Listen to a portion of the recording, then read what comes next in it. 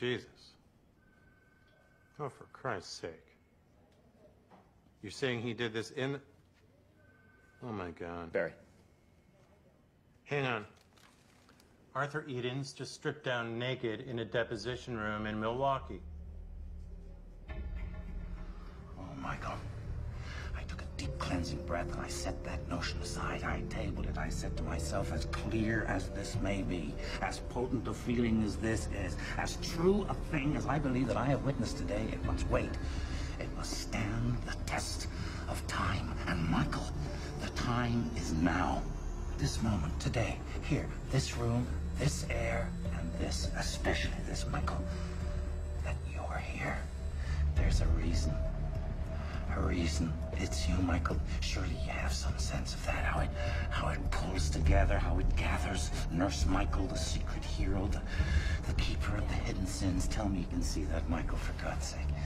But I, I mean, yeah, yes, yes. The nudity, the parking lot. I admit it. It was, it was, it was, it was a mistake. It was wrong. It was lame. It was obvious. And therapeutically, it was completely useless because, Michael, I swear to you, I could stand here and tear off my fucking skin, and I could not get down to where this thing is living. Six years, Michael. Six years I've absorbed this poison. 400 depositions, 100 motions, five changes of venue. 85,000 documents in discovery. Six years of scheming and stalling and screaming. And what have I got? I spent 12% of my life defending the reputation of a deadly weed killer. We had an agreement, Arthur. One night, one night, right? I look up and there's Marty in my office. He's got some champagne.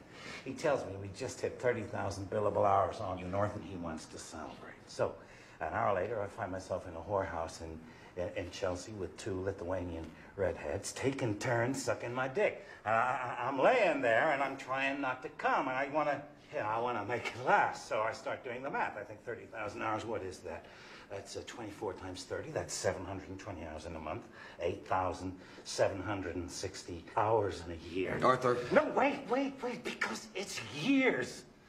It's lives. And the numbers are making me dizzy. And, you know, now, now instead of trying not to come, I'm trying not to think, and I can't stop. I mean, is, is, is this me? Am I this, this freak organism that's been sent here to sleep and eat and, and defend this one horrific chain of carcinogenic molecules? Is that my destiny? Is that my fate? You promised. Is that... You promised. Is that it, Michael? Is that my grail?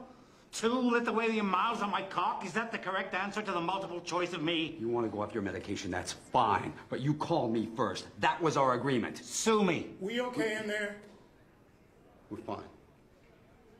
We're fine.